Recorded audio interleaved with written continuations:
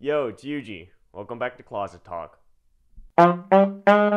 Hi. Yeah. Um, I'm not dead. I'm still alive. Honestly, I just kind of forgot to talk about shit in the closet.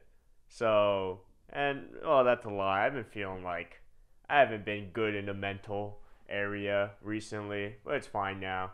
I was doing a lot better because today, wow, let me just tell you one thing that one of the greatest thing I love in the world is Asia markets. Holy shit, dude. Oh, I found an Asian market in College Station. It's called BS, I think. No, it's called BCS Asia Market, and it was like further down like than I expected. That's why like I just never knew about it.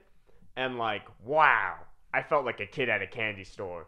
Cause there is this other Asian market called just straight up Asian market next to HEB or Heb, and I'm just all and I went there one time with my mom, and it was so mid. Like they had nothing going on. They just had a bunch of vegetables that were maybe cheaper or more expensive, honestly. And I'm just like, God, this sucks. But then I so then I was like going grocery shopping. I just look up. I'm like, there has to be another Asian market, right? And there is. There's one further down, and oh my God, it was amazing. Amazing because you know why? The first thing I saw when I entered that store was in the corner of that store was a food cafeteria and the entire menu was in Chinese. And I'm just like, "Oh, I know where the fuck I'm at. I can't read anything that they're serving. All I can hear is just two ladies working in the back cooking maybe something. I don't know." But yeah, I was like, "Oh, I'm in the right place." And then like I look and they just have like a bunch of baskets I'm all like, oh yeah, like it's just like, oh, pristine. I was just like, God, I didn't, I never thought I'd be this happy entering an Asian market.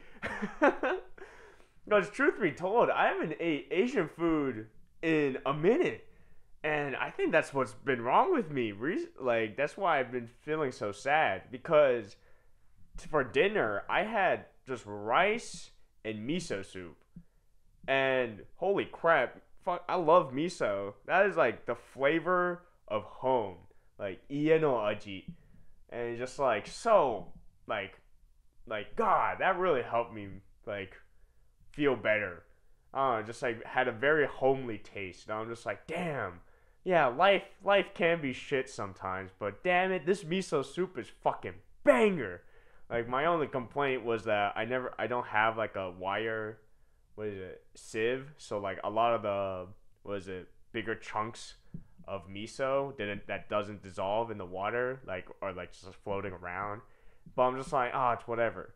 But it's just like wow. Like they had miso they had a bunch of like frozen fish which was expected but like that's the asian market. They had a bunch of hot pot stuff like nabe they had so much nabe and i'm just like fuck like this is amazing. I could just eat like a hot pot for the rest of my life, just a bunch of vegetables and meat, and just like and broth, and just live off that for the rest of eternity. And I'm like, damn, this is great, but I'm just broke right now. Like I have a job going. Oh yeah, I got a job by the way. Oh, I should maybe talk about that in a different episode. But yeah, anyways, so I got a job, but I'm still broke right now, so I'm just making a little money on the time.